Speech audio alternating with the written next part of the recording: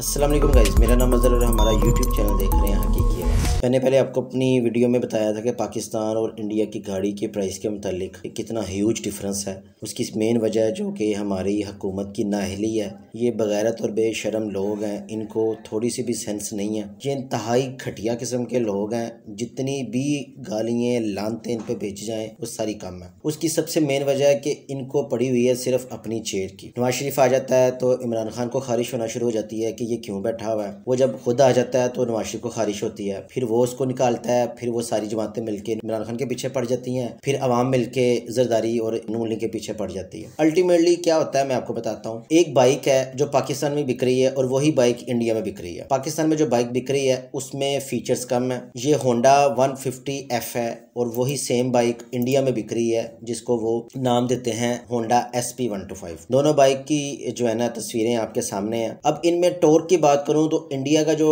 Torque है ना, वो टेन पॉइंट नाइन है। ये इंजन की कैपेसिटी होती है। इन दोनों बाइक्स की कोई भी चीज़ों में फ़र्क नहीं है। थोड़ा सा अगर फ़र्क है तो इंडिया की बाइक अपने डिस्क ब्रेक की वजह से हमसे आ गया मैं एक दफ़ा फिर कहूँगा कि मुश्तर लानत भेजें अपने सियासतदानों पे, जो भी चीफ मिनिस्टर है प्राइम मिनिस्टर पे है। वो इस वजह से कि जो पाकिस्तान में बाइक बिक रही है, उसकी कीमत है तीन लाख तेईस हज़ार नौ सौ ये आपकी स्क्रीन पे चल रही है। और अगर आप इसको रजिस्टर्ड करवाते हैं तो तकरीबन सवा तीन लाख में ये पड़ जाती है। आपको, क्योंकि आप पाकिस्तान में रह रहे हैं। इतने में तो इंडिया में सुजुकी आल्टो आ जाती है, जितने में ये पाकिस्तान में बाइक बेच रहे हैं। और अगर आप चले जाते हैं इंडिया में तो इसकी कीमत है सिर्फ़ एटी सिक्स पाकिस्तान और इंडिया का डिफरेंस देखें, तीन और इंडिया में छियासी अब मैं आपको एक और चीज़ बताता हूँ। पाकिस्तानी लोग ना ज़्यादातर जो होते हैं, पेंडू, शहरी, सारे नल्ले किस्म के लोग होंडा सेवेंटी खरीदते हैं। हम सारे जांगलू किस्म के लोग होते हैं। असल में आवाम जैसी होती है ना, वैसा हुक्मरान होता है। तो हम खुद ही जांगलू हैं तो हमारे हुक्मरान कैसे होंगे? अगर आप पाकिस्तान में जाते हैं तो ये थर्ड क्लास कंपनी के पास बाइक खरीदने तो आपको ये बाइक मिलेगी सिर्फ़ और सिर्फ़ एक लाख ग्यारह हज़ार पाँच सौ में। और माशाल्लाह, ये हर साल इसके अंदर बड़ी चेंजिंग्स करते हैं।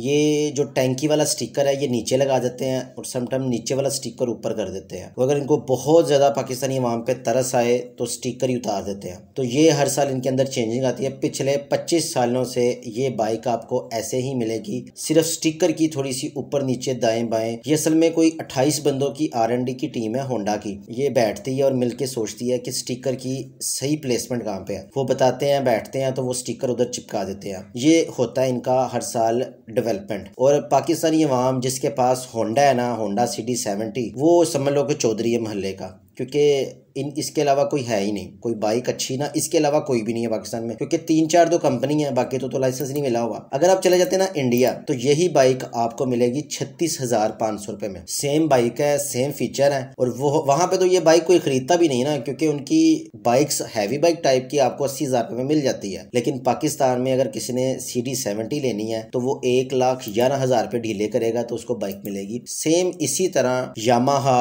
और दूसरी कंपनी जितनी भी नामवर कंपनियाँ जिनके नेटवर्क पूरी दुनिया में है, वो पाकिस्तानी अवाम के साथ इस तरह ही करती है। अच्छा इसकी एक वजह क्या है? इसकी सबसे बड़ी वजह है हमारे गंदे हुक्मरानों की पॉलिसीज़ जिस तरह वो हमारी पॉलिसीज़ बनाते हैं, उन गरीबों को तो यही नहीं पता होता कि ये कंपनियों के साथ डील्स कैसे करते हैं, इनके साथ कॉन्ट्रैक्ट में क्या लिखते हैं। अगर आप इंडिया में ना तो वो अपने नाम को पहले लिखते हैं, फिर कंपनी का नाम लिखते हैं। लेकिन पाकिस्तान पहले कमीशन लेते हैं, फिर उसके साथ बाइक को कॉन्ट्रैक्ट देते हैं। तो इनको तो बेचारों को तो ये भी नहीं ना पता कि करना किस तरह पॉलिसी किस तरह बनानी है। क्योंकि ये मैट्रिक इंटर होते हैं, जो मल्ले का चौधरी होता है, वो एमएनए होता है, बाद में वो मिनिस्टर बन जाता है मिनिस्टर पॉलिसीज़ बनाता है, और इसी तरह से हमारे साथ कॉन्ट्रैक्ट होते हैं। वीडियो पसंद है तो चैनल को सब्सक्राइब कीजिएगा, वीडियो को लाइक कीजिएगा शेयर कीजिएगा थैंक यू